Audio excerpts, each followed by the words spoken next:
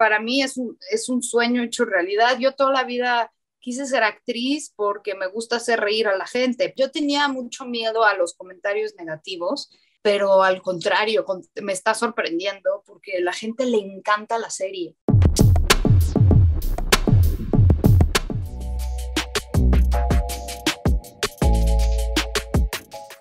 Sí, estoy súper feliz. La verdad es que eh, pues no me lo esperaba. Eh, no solamente estamos en el primer lugar en, en México. Estuvimos en el top 10 mundial, lo cual todavía me sorprendió aún más. Eh, la verdad no he verificado cómo, cómo vamos, pero estuvimos dos días en el top 10 mundial. Mm, estoy muy feliz, ¿qué te puedo decir? La verdad es que eh, yo desde que leí el guion, a mí me divirtió mucho y me pareció espectacular el, contenido, pero bueno, finalmente el resultado final y la respuesta al público pues finalmente no depende tanto de un actor, depende de muchos, muchos factores. Y creo que el resultado final y la respuesta del público está siendo es muy positivo. Entonces, pues, ¿qué te digo? Estoy súper contenta.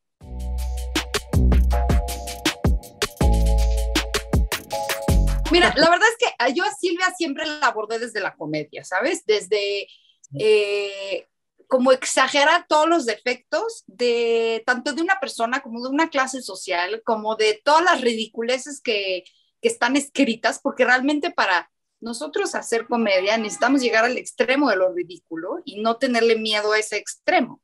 Entonces, eh, yo siempre lo abordé desde la comedia y desde como mucha vitalidad, ¿no? Silvia es un personaje neurótico, ¿no? Digo, yo estudié eh, tomé un curso de actuación que me sirvió mucho para la comedia, que es los ocho prototipos de la comedia, y Silvia encajaba perfectamente en el prototipo de la neurótica, ¿no? De una persona controladora, de una persona que siempre quiere tener la razón, de que quiere dominar a los demás, eh, de que tiene que tener las cosas perfectamente bien hechas y como ella quiere.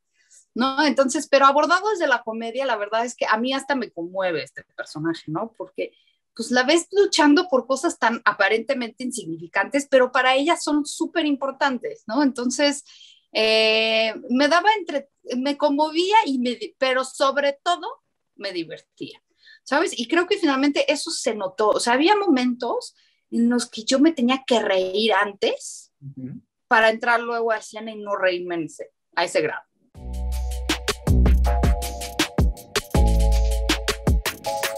No, es mi primera comedia. Hombre, he hecho novelas con un personaje con toques de comedia, eh, pero no así tal cual, no. Y fíjate que eh, para mí es un, es un sueño hecho realidad. Yo toda la vida quise ser actriz porque me gusta hacer reír a la gente, pero difícilmente se te atraviesa un proyecto como, como ese para lograrlo, ¿sabes?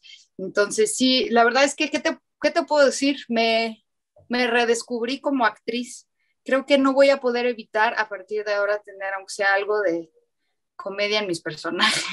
Bueno, quién sabe. Ya hice uno y no fue nada chistoso. Entonces, chance y no. Pero me gustaría.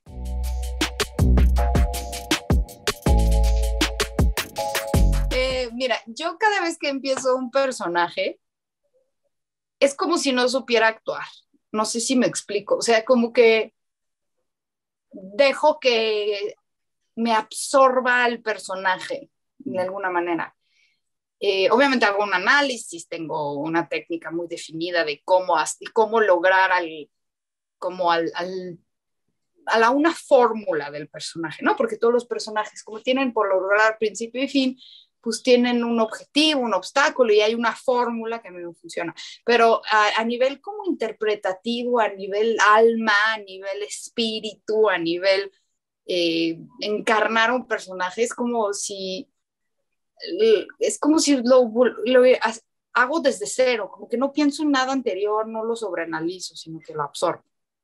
Ah, Entonces, eh, para mí cada personaje es, es nuevo, es, y, sin precedentes, ¿sabes? Así es. Lo que haya hecho antes, ¿qué importa? Ya fue.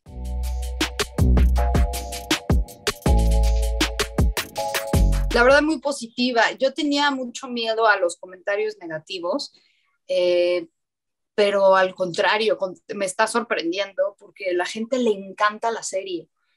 Eh, características es que primero se la echan en un día eh, o en máximo dos. Em, segundo, les gusta mucho, eh, se ríen mucho. Como que los comentarios son, me hizo reír mucho. Em, les gusta, ¿qué te digo? También les gusta que verme en comedia, pues creo que funciona bien, a ver.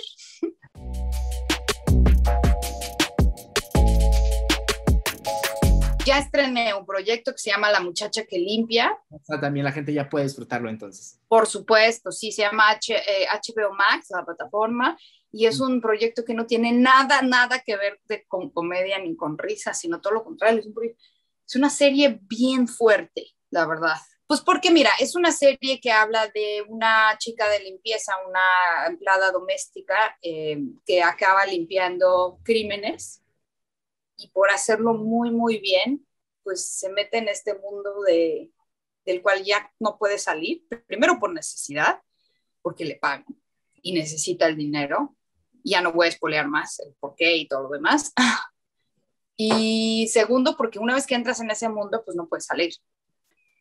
Difícilmente sales. Entonces, pues ver a un personaje completamente angustiado viviendo una, eh, una pesadilla y ver cómo el otro lado de las, ¿no? El otro lado de la moneda, que es las personas que matan, ¿no? Eh, o que generan esas escenas del crimen que acaba limpiando Rosa, que es interpretado por Damayanti Quintanar, que es una extraordinaria actriz. Entonces, ves como ese mundo sin, sin filtro, ¿sabes? Detrás. Es, es fuerte. Y mi personaje es eh, Sonia Valladares, es una mujer eh, que no participa directamente, digamos, en, en los crímenes, pero de cierta manera está involucrada, porque todo el mundo está involucrado. Y acaba siendo víctima de su propio miedo y de su y de, de la mala educación, de los malos hábitos y de las malas decisiones de toda su familia. Es muy padre, la serie está hecha con una delicadeza y una eh, ¿cómo te diré? Eh, tiene una factura bien padre y es y es súper eh, entretenida porque no deja de ser una historia policíaca y de crímenes, ¿no? Porque también hay otra línea que es, pues, los que están buscando, los policías que están buscando a los ladrones, por así decirlo, a los malos. Entonces, Está muy bien hecha, yo la recomiendo mucho. Estoy muy orgullosa de ese proyecto. Claro.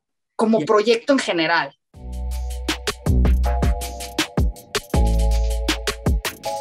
Pues mira, por ahora sé que se va a estrenar eh, a finales de año una serie que se llama Código Implacable, que la hice con Sony Pictures, desconozco en qué plataforma, la hice, la grabamos en Colombia.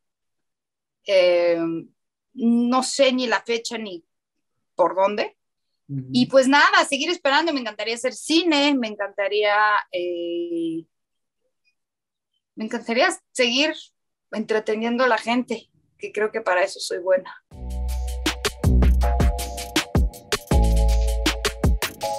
Pues organizándome con mucha ayuda y también teniendo, tomando en cuenta que mi trabajo es como muy, es muy absorbente mientras trabajas y cuando no trabajas, este, literalmente o sea, si no estás en promoción, pues no, no estás ocupado, ¿sabes? Y estoy 100% con mis hijos. O sea, ahorita mis hijos están comiendo y ahorita voy a terminar contigo y voy a ir un ratito y luego sigo a la otra entrevista y así, pues organizándome, como muchas mujeres, ¿eh? No soy la primera ni la última en, en tener este tipo de horarios de vida, de, de pues, hay que trabajar.